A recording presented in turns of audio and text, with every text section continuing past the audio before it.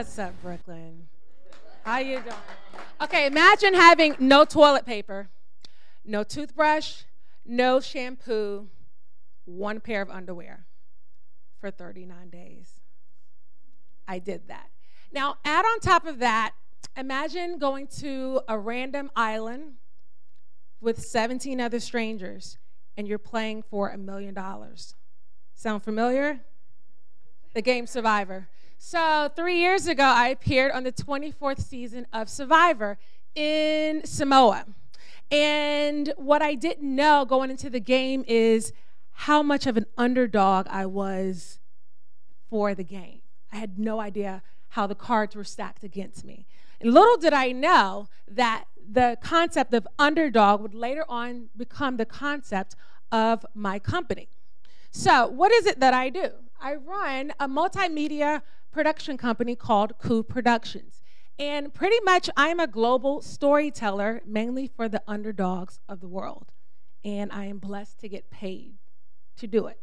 And whether or not it's a Fortune 500 company or a small nonprofit, I tell people stories that you don't readily see in mainstream media. So, sorry. Oh, this is going really fast. Okay, what's, what inspires me? You see two pictures up here and then a logo. I'm going to take you back a little bit. The logo, Court Television Network. I graduated from UNC Chapel Hill, I'm a Tar Heel. And um, so immediately after college, I worked for these ridiculous, random, crazy talk shows. It was really, really crazy. But I wanted to scale it back and say, you know, I want to do something serious. I, I want people to look at my resume and actually say, okay, she has a real job. So I started working for Court TV Network. So every day for six years, I would cover everything from homicides, molestations, rapes, you name it, kidnappings. It was very intense, very, very intense. But oftentimes in the courtroom, sitting in the defendant's chair would be people that looked like me, black and brown people. And oftentimes the talking heads that would be analyzing the cases would not look anything like them. And after about six and a half years, it just really be, took a toll on my spirit, and I dropped it and became a New York City public school teacher. Had to be absolutely insane to do that. So here I am now. I'm, I'm a black girl from down south, from the suburbs. And fast forward, now I'm a teacher teaching kids that look like me, black and brown kids. However, their narrative was very if it was left up to mainstream media. Maybe you thought they were dropouts, perhaps, comes from a single parent home, and, and their narrative was already told for them. However, when I started to really know these kids, they were completely different than what the world thought of them. And yet they didn't have an outlet to tell it. And then it made me think about the defendants that I used to cover in television and what was their narrative before they became a criminal or criminalized. And were they once my students that never had an outlet? So it really inspired me to really tell the stories and that as a storyteller, I owe it to the broader audience to have multidimensional stories aside from what mainstream media will tell you, because media is a beast. Okay, my challenges. Um, you know, I've worked in TV for a long time. TV is pretty quick. You come up with an idea, you get a couple of people together, boom, you can execute it. You have a finished product. You can shop it to a network. You can, ha- you can have it on a web series. It's pretty quick from A to B. It can be very quick. My challenge now is that I'm moving into the film world. And film is really, really a different beast. Oftentimes, there are more hands in the pot.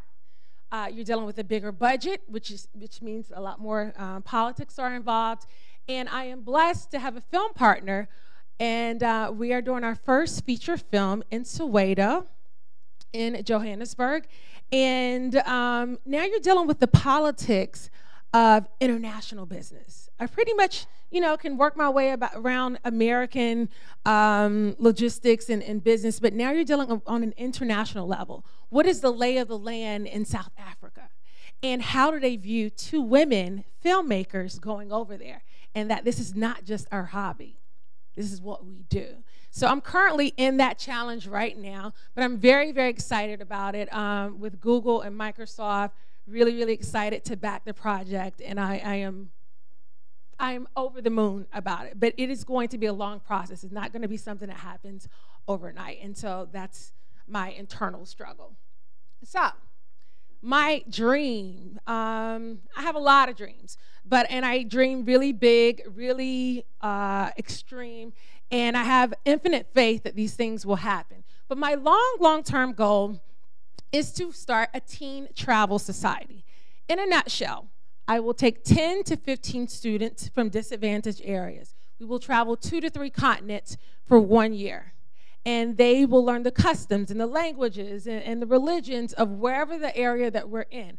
But also, along with that, so that's the education part. We're going to have an adventure side, which presents the survivor side and they will be doing different, uh, whatever it is that we, we have planned out for them to get some physical activity in, to get some risk taking in.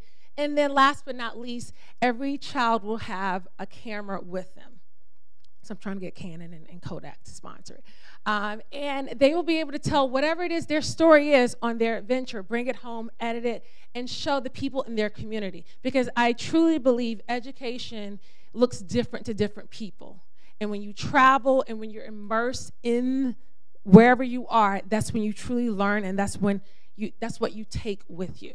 All right. And so this picture, I just happened to use it. Uh, this this is a young man um, who we recreated this shot. Uh, this was like a young Denzel from Washington from the movie Glory. And we shot this in my backyard, right in a little tiny corner. And um, the kid was absolutely amazing.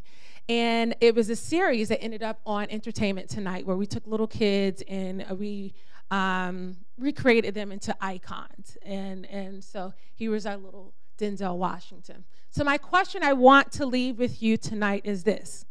Now, whether or not it's a comedy or a trilogy or a suspense movie, uh, you name it. If someone made a movie about your life so far, up to this point, would you pay to see it? If the answer is no, you need to get to work. Make it interesting. Thank you, guys.